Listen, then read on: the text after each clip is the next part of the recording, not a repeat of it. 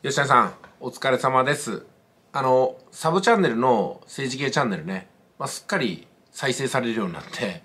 なんか、数万回転っていうのも狙えば作れるようになってきましたね、こちらの方は。まあテーマがテーマなんで当たりやすいっていうところと、あとは当たりやすいだけにバンを食らいやすいっていうところがあるんですけども、それを回避する手段も、このね、えー、隠居 TV のメインチャンネルの方で何度も何度も経験してるんで、だいぶ当たりがついてくるようになりましたね。えー、ですんで、このサブチャンネル、結構ね、柱になりそうです。まあもちろんこちらの方で、サブチャンネルの方でね、政治系チャンネルの方で得た収益っていうのは、この政治活動に全て使うことを約束してますし、そのつもりなんでね、まあ全然私の収入にはならないんですけども、でもね、一つのテストマーケティングとして、8月から始めて、9、10、11月と3ヶ月でしょ今、4990人なんで、もう、今週中に5000人のチャンネル登録いくと思うんですよ。いやね、今私が運営してるメインチャンネル10年やって1万6000人ですから、この3ヶ月でここまで迫ってくるとは、すごいなと思います。もちろんチャンネル登録だけを目標にしてるわけじゃないんですけども、でもね、うん、その、まあ、令和新選組っていう一つの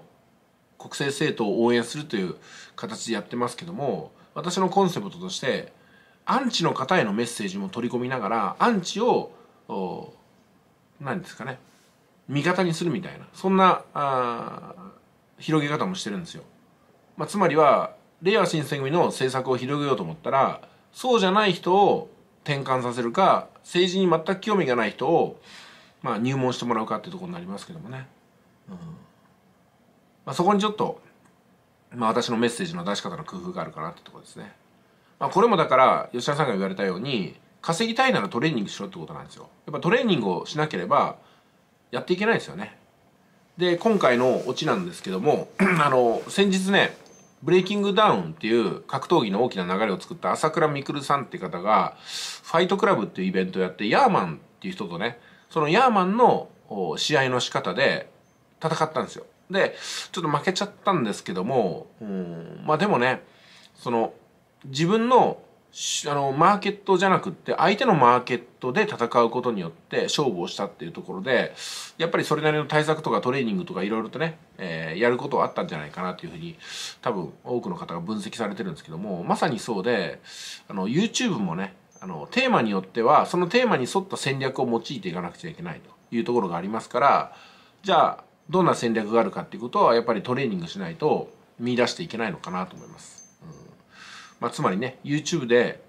あの勝つ戦略はあるってことなんですよ。で適当にやって誰かの学ばずにただやるだけではこれは雲をつかむような話になっちゃうんで簡単にダウンしちゃうと思うんですよね。まあ、ですんで私は一定の戦略を持ってきちんと実績のある方に学んでいくで試行錯誤を繰り返して目標に向かっていくまあこれは本当に変わらないんじゃないかなというふうに2つ目のメインチャンネルを運営しながら思ってますね。えー、そう考えたら私は自分に対してコンサルしながらもう一個のチャンネルをやってるって感覚なんで自分のコンサル生さんたるもう一人の自分がねああこのコンサル受けてよかったって今思ってるとこですよね、うん、本当にだからねこの政治系チャンネル私にやらせてくださいみたいな人が現れたら多分このチャンネルを私がコンサルしてたって形になるんで、うんまあ、今までねいろんな YouTube の塾生さん持ったんですけども一番優秀な塾生は自分だったってことになります。いってらっしゃい。